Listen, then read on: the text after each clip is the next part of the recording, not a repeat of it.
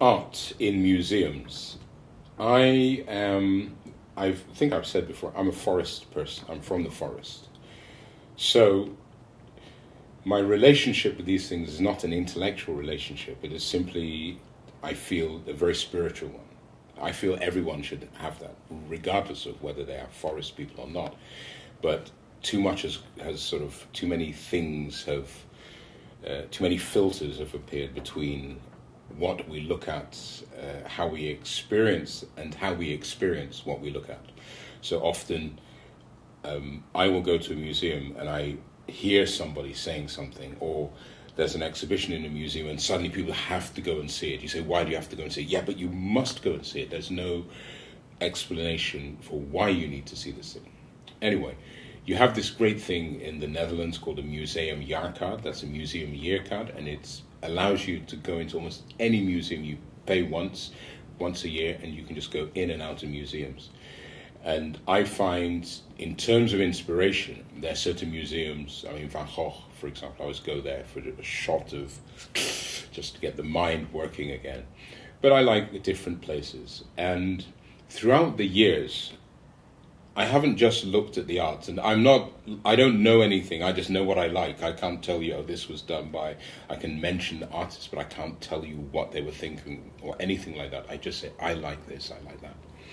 But there is something that I have seen throughout the years, and it is a kind of um, gentleman, uh, late 50s, 60s onwards, well dressed, uh, very neat, and sometimes alone, sometimes with a, uh, a flock of disciples. And it's the lean, they have this way of leaning. They put one hand behind their back and then they lean in towards the painting. And I don't know what what just catches me about this thing, but it, it really, um, it, it, I find it very unusual. I suppose it's sensible you put your arm behind to keep things out of the way. Um, I'm not sure what happens to the tie if they are wearing a tie, but it's that pose of leaning in.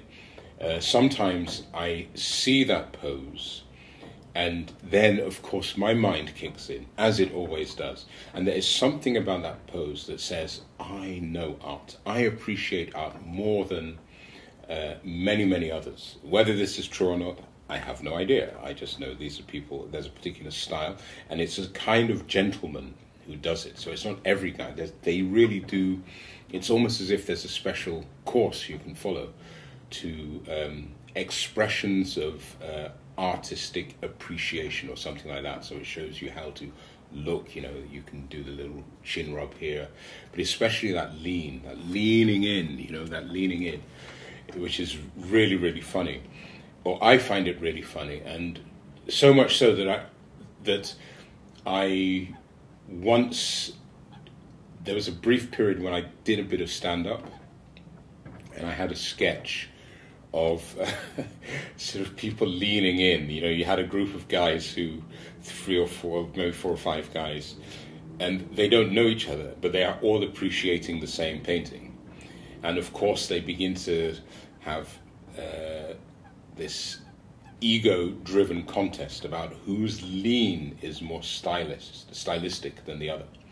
And I made a whole sketch about that but um, they're still there. It's it's a it's a particular pose. I don't know where it comes from. I don't know if it's outside of the Netherlands. I've only really noticed it in the Netherlands, or if I'm abroad, I'm probably too busy with whatever to, to see it.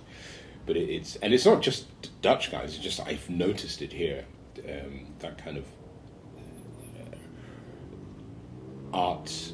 Um, what did they used to call them? is it culture vultures? That was a term from back in the 80s. Uh, you would be a culture vulture, which meant you loved culture. And this lean in, I find it quite amusing. I find I, I once, however, I must say, I'm just rambling here a bit, but I did, um, because of eyesight, I do have a magnifying glass that, and once I went uh, to the Stedelijk Museum, no, it wasn't Stedelijk, it was Rijksmuseum I've forgotten that, what kind of prints there were. There were these tropical prints, and the magnifying glass really did help. And so I'm sitting here talking about those guys leaning in. I can imagine that had one of those guys been there, they were sort of like, oh my goodness, not a magnifying glass. You know, that you take a magnifying glass you take this whole appreciation of art to a new level. So I suggest, uh, and it's actually good, you really do see details with a magnifying glass. I mean, really, you will see things that you can't see otherwise, especially if you're above 40 or so and your eyes are a bit wonky. So my advice on that one is don't lean, get a magnifying glass, it's much cooler and um, yeah, do that.